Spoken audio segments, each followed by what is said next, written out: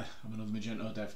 I've just finished live streaming, live streaming the debug number eleven, and um, sort of got halfway through a upgrade to PHP eight.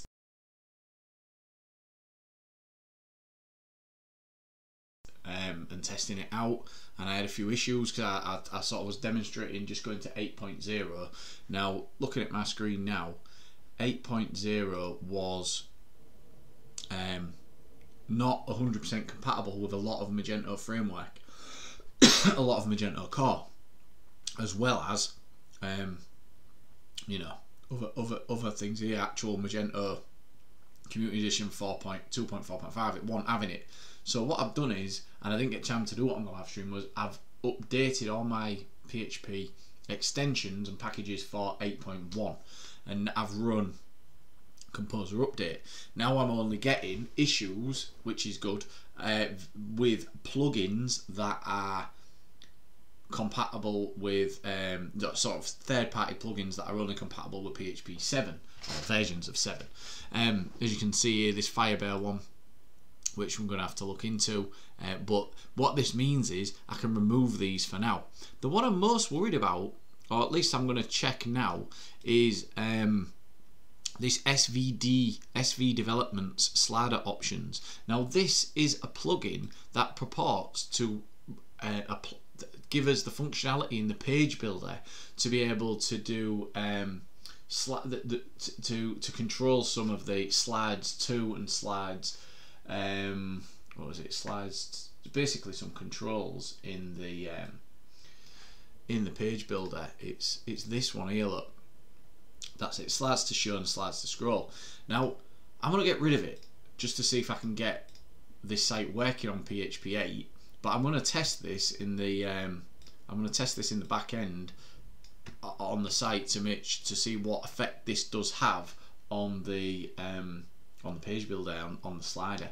Uh, if it's just that these um, options have vanished, then I'm sure we could sort of uh, live without them. But the, they look kind of, I mean, they look they look like they're, they're, they're important to to Slick um, in the page builder look just front end for now. But they're not doing much. So I'm wondering if they've been taken overrode or overwritten, um, or uh, you know, by other by another plugin or something, or Magento have built it into their core or something. It just seems strange. Just seems strange to me. I've never come across it before. So, if you know, please hit me up in the comments and just say, look, this is this is what I know about this, and this is what it does, and and what have you. Composer require um no composer remove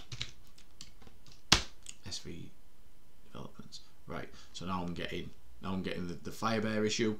Um, I would like to resolve this, but it is a third party plugin. With you know, I, I can actually um, I can actually remove it for the purposes of what I'm doing here. Um, it, I, I, need to contact the plugin vendor and work out why this version doesn't work with seven uh, with 8.1, but also ideally get an updated version that does. And I'm sure they have one, and I will be in touch with them um, in order to resolve that. Um, but if I go Firebear So this this obviously applies to any other um, that that logic applies to any other um, third party plugins that you might have. Um, you've got to contact the vendors and find out why they're not playing ball.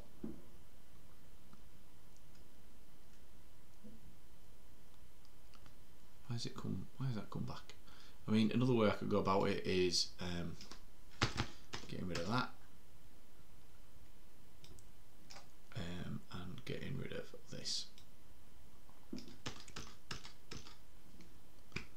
And let's see.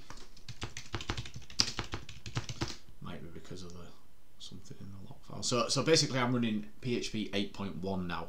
I upgraded from 7.4. Yeah, and it's going, seems to be going through. So I'm just running Composer Update.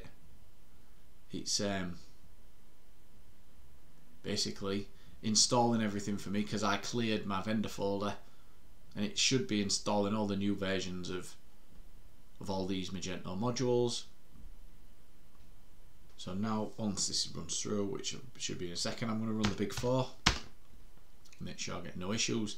Um, obviously, this video I'm doing now is a little bit of a follow-on, really, from debug number 11. So check that out. I'll put a link in the description to that, and I'll put a link just up there, and there'll be a link at the end of this video as well to the full sort of live stream. Um, where obviously you get a little bit more context to what I'm doing here, but this in, in and of itself is probably going to be informative for for beginners, um, and, you know, and, and, a little bit of insight into changing PHP versions and what might be in store um, for you when you try and do it, because it's not just a, a, flick of a switch, unfortunately. Magento is quite opinionated on its PHP, on the PHP version that it runs on, or that it's happy to run on.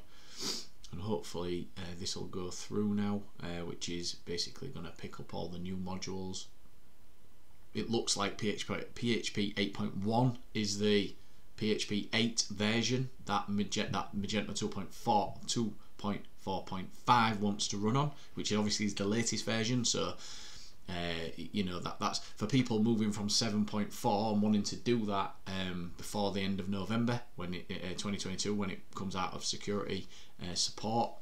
Then you're going to be looking at ideally you want to be upgrading your Magento store as well. Um, Let's see if this loads. I don't know if I've got a slider because that's the only thing I'm worried about. Right, obviously the site loads, no bother. Um,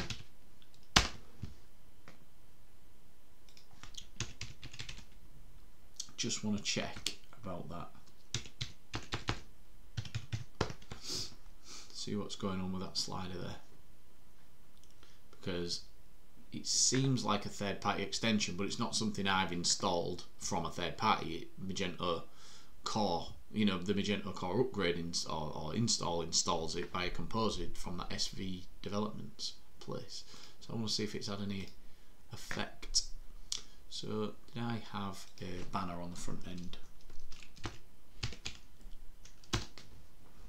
So these are all things that you're best off testing. Uh, stuff like this, you might get a slightly different problem. Uh, this seems to be running absolutely bob on on PHP 8.1.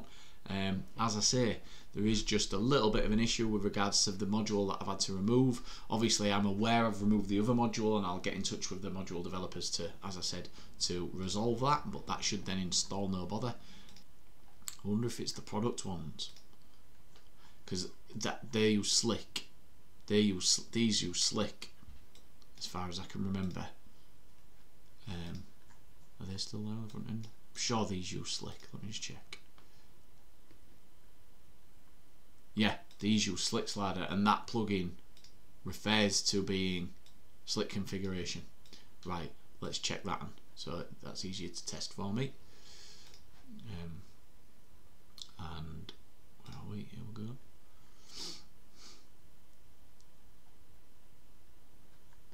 Unfortunately, I've got no frame of reference here. Although I might, I might have actually. Oh no, because I'm running everything on PHP 8 now. Um, yeah, I mean, it looks like you've still got number of products to display five. Um, just refresh that because I removed that top banner. So I don't know if these have I can't ever remember seeing these. Please hit me up in the comments. Uh, let me know in the comments if you've ever seen these, or at least recently in um, in slides to show. Uh, sorry, in in your sliders in the back end. Um, please let me know. Um, I don't think we have, so I don't think removing that is a problem. I think it's deprecated.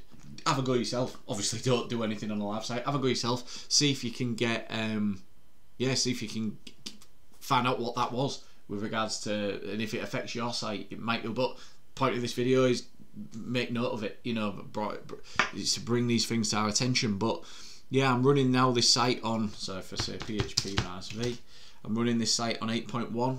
It's a Magento 2.4.5, and the core Magento seems to seems to be absolutely fine with it, um, which is great. Great stuff and I'll leave that there. So thanks for watching. If you like this type of sort of content, like and subscribe. Uh, there's more where that this came from, and uh, yeah, tune into my live streams just about every week, and uh, I'll uh, see you in the next one.